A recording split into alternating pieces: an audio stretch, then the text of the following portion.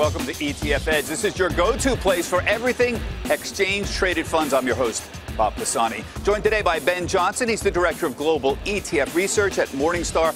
Dave Nadig is the Managing Director of ETF.com. Let's start with the markets because despite today's sell off, stocks are still on track for the best start to a year in decades. And investors are beginning to chase that particular rally. Here's the flow down. In January, U.S. equities saw $25 billion in outflows. But in February, we had $13 billion in inflows. Other areas of the market that saw notable flows were mar- emerging markets and low volatility ETFs. That's curious. So, what does all this mean for the rally, and what should investors be watching in March?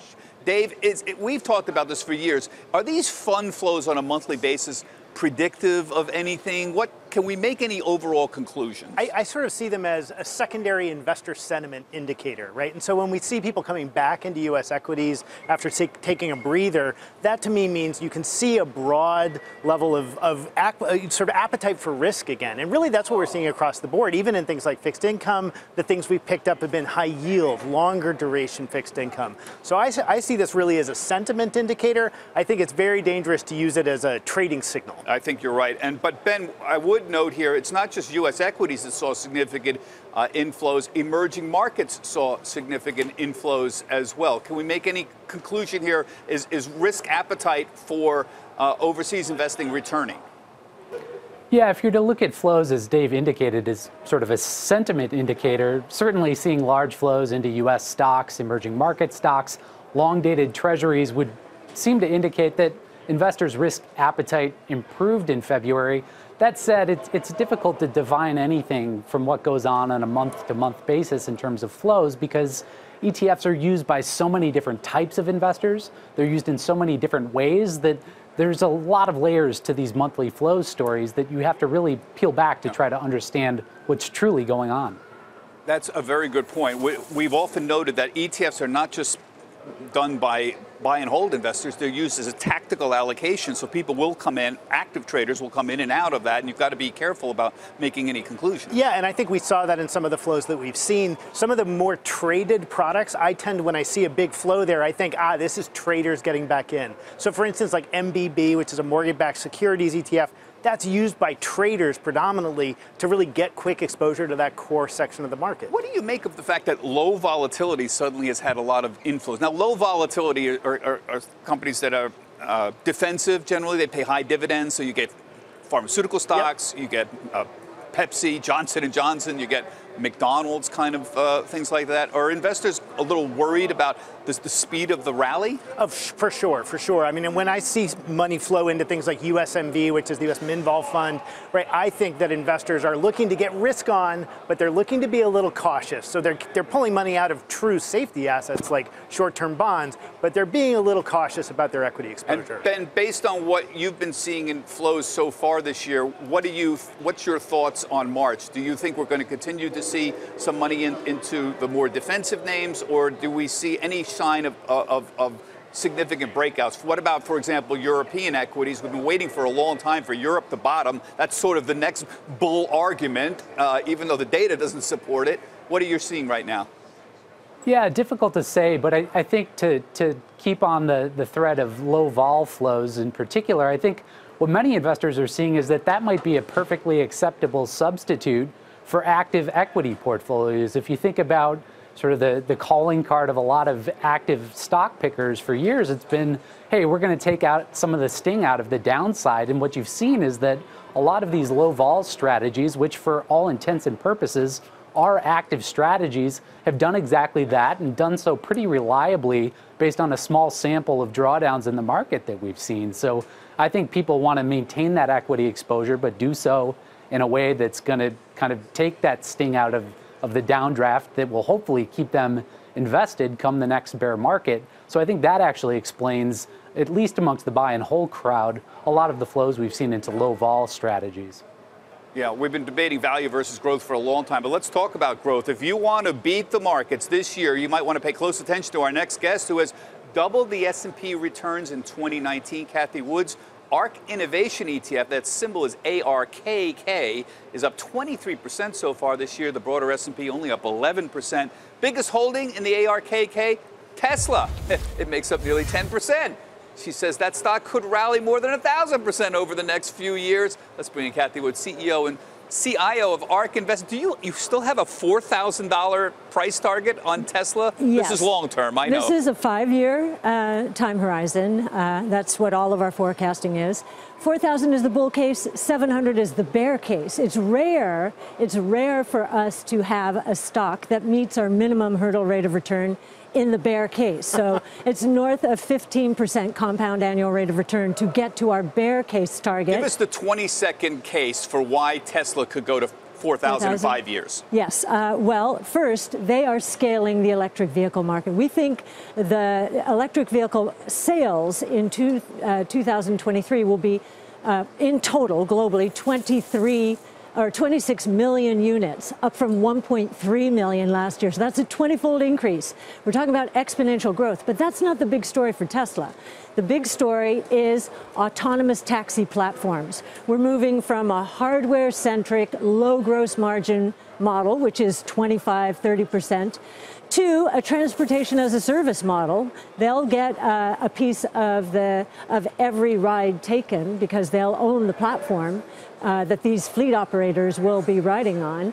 And uh, that's more of an 80% gross margin business. Yeah. So, and that's that. We just did a yeah. podcast with Elon Musk two weeks ago, uh, and if anyone really wants to understand what's going on in his head, we're talking about exponential and where growth. Can they hear not that if they want to hear it quickly? It's uh, it's FYI Innovation. It's our podcast. Okay. For, for your innovation. You know, Dave, Cathie's become a little bit of, of star for in sure. the active management field. There aren't many stars in the active management field, right. I should say, in the ETF uh, business, because Cathie's willing to take outsized bets. I mean, we're dealing with what, Cathie? Your top 10 or 56, 60% of the fund. is 10 stocks, and but, really it's five. You've got Stratasys, Nvidia, 6% weightings. I mean, what do you, what do you, you, you got to love somebody like Cathie that really say, makes a big bet on a small number of, of stocks. Yeah, I mean, what you're there. doing is what you want out of an active manager, and frankly, what's so rare in active management, right? If I'm going to make a bet on an active manager, I don't want them owning 300 positions yeah. and right. giving 10 basis point positions. Right. So I think what you're doing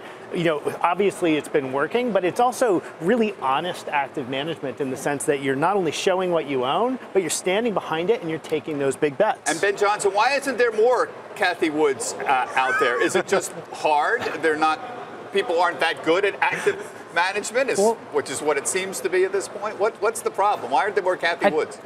I think it's difficult. The, the other uh, question, if I may, for Cathie is, is how you think about kind of managing the balance between sort of conviction and, and capacity with a very concentrated portfolio when you're operating that portfolio within an, an ETF. Uh, we've seen a lot of similar portfolios in the open-ended mutual fund world. You know, know when they have enough and be able to close the fund to investors. And to a certain extent, you don't outright forfeit that ability in an ETF construct, but what would result would be a closed-end fund. So how do you think about that? Well, the great thing about focusing on exponential growth and disruptive innovation is we should be able to grow exponentially if we are right on these five innovation platforms that we think each represent multi-trillion dollar opportunities. So DNA sequencing, robotics, energy storage, deep learning, blockchain technology. But are there some small caps that you kind of have to avoid because it's a big fund now? It's a you know billion plus dollar fund. Can you really own a $50 million company you know, in that portfolio? There is such fear out there about volatility associated with innovation. Volatility, by the way, is a very good thing on the upside, right? Uh, there is so much fear that we get opportunities all the time to buy stocks that are destroyed, especially the small cap stocks, just because people are afraid. They're not in indexes. They dump them during a correction. We consolidate uh, our holdings. And if we get an opportunity to buy a NanoString or an Invitae uh, during those downturns, they earn their way up into the top 10. And all of these are actively managed. You, you have yes. more than just one fund. Yes. The ARK, ARKK, your flagship is a billion and a half assets under management. But you have the ARK Web X.0, which yeah, obviously deals with uh, internet and web related. You have the ARK Genomic Revolution, which is ARKG, obviously dealing with genomic issues. Industrial Innovation uh, uh, ARK uh, yes. that's out there. These are all, yeah, they are, they're all actively managed. Is that right? Yes, and the other reason you're not seeing a lot of active managers out there in the ETF world is we have to disclose our holdings at the end of every day. We are a liquidity provider. We don't mind showing our holdings because we're usually buying stocks like Tesla when they're down, and we're usually taking profits when they're up. So in the fourth quarter, yeah. Tesla screamed while Nvidia crashed. Very quickly, how, yeah. before we move on, how do you change your position? I mean, suppose do, will you announce at any one time I'm going to go from a nine percent weighting in, in Tesla to six percent? How does this process happen? You don't the, the uh, most of re- rebalance on a quarterly basis, right. for example, if you're yes. equal weighted. What do you, yes. How do you rebalance, or what do you? We trade every day. Uh-huh. I, I'm not doing anything different now than I did uh, when I was managing mutual funds, separately manage accounts, and we do manage those as well at ARK. Uh, it's the same. The wrapper, we're wrapper agnostic. There's, so if, there's so no if you decide to sell Tesla, we'll just find out when we look tomorrow and Tesla's not in the well, portfolio. Well, actually, we post our trades once we've completed them. Uh, and the reason for that is market makers were so uncomfortable with this idea of an active manager. They felt they'd be caught flat footed. That we said, fine, we'll post our trades once we've completed them so that we're both on the right side of this well, thing. Well, the, the proof is in the pudding. So far, you've been outperforming, and it's very tough to get active management outperformance. So kudos to you. Just stick around, Cathie. Thank I want you. to, want you get your, uh, your thoughts here on this last segment. We'll end with a little myth busting, as we usually do here. Today, we're looking at the race to zero ETFs. Our dear friend Jason Zweig, you see him in the Wall Street Journal there last week out with an article over the weekend titled Why You Should Think Twice About Free Funds, highlighting how expense free doesn't necessarily mean risk free. So, how do these funds actually do zero ETFs? Well, there's a number of ways that happen, including lending stock to clients. They also sell other products. And of course, oftentimes, Dave, they'll have lower interest on their cash funds. Yep. Uh, nothing is free, is I think the point here that Jason's making, we've made Many yeah, it's absolutely true. And I think there's also a question of diminishing returns. I mean, we just saw the launch of, or the filing of some zero fee funds for a while. They'll, they have a waiver for a year. The question you have to ask yourself is that really better than, say, the three basis points you pay Vanguard for similar exposure? Yeah. That's $30 on a $100,000 portfolio every year. Most people spend that on pizza without even thinking about it. Right. Uh, have we made too much of all of this, Ben? Zero. I mean, the public seems loving just free anything. Well, I'll buy it. Uh, but three dollars per ten thousand for three basis points doesn't make that much a difference if you're making up for it or paying for it in, in other ways. Oh, in other words, are we making too much of this free ETFs uh, business? Uh, absolutely, it, especially as we get ever nearer zero. I mean, I think if anything, there's a big risk that investors could be kind of penny wise, pound foolish. That they unlock sort of a tax genie by moving wholesale from one platform to another that they're increasingly incurring costs that are less directly visible, less measurable in the form of opportunity costs. So I'm earning 0.01% on my cash balance as opposed to two and a quarter percent, which I could be getting you know, at a, an online savings account. So, you know, costs are, are, beginning to kind of creep into the dark. There's no such thing as free. If you're getting something for free, odds are you're subsidizing that by paying for something else, whether explicitly or implicitly. Right. Now, Cathie, your funds are not free, uh, nor are they three basis points, but we're paying for your insights and innovation, right? right? But yeah. it, do you agree with the general point? Um, low cost is not always necessarily, don't always just buy low cost just because it's three basis points or five basis points. Right. So our, our fee, I mean, we are doing a lot of original research. what, what is your fee for the 75 ARK? basis points. Okay. So that would compare to maybe 1.25 for a mutual fund, right? Um, what we believe is happening with these zero fee funds is that they, they tend to be the broad based indices, right? Easy just to mimic an index, doesn't cost very much to do that. A machine can do that. Uh, but we think they are filling up with value traps because of all of the innovation uh, that we're researching. Uh, so we think we think we're at the beginning of the pendulum shift away from passive back to active as more and more people recognize this. Well, we'll see. That's going to yeah. be a very, we've been dealing with that call for a very, very yeah. long time. Yeah. It hasn't happened yet, but uh, there's not a lot of Kathys out there, though. That's part of the problem. Definitely. You got to admit. Am I wrong? Definitely true. Not. Definitely um, where true. Where do you find them? you're, you're, one of the very, in her office. We dragged apparently. you over here. it's like seeing a unicorn. Like here you are. Hey, an active manager that actually outperforms. We finally found one. No. Well, I think innovation is key.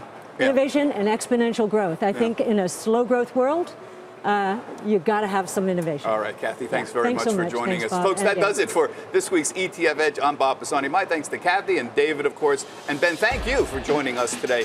Thank you all for watching. You can find all of our latest videos right here on our website, etfedge.cnbc.com. We'll see you next Monday, same time, same place. Have a good week.